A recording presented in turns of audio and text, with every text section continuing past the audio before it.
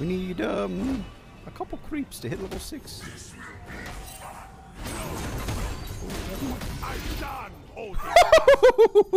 what do you think you're doing, Mr. K'Sante?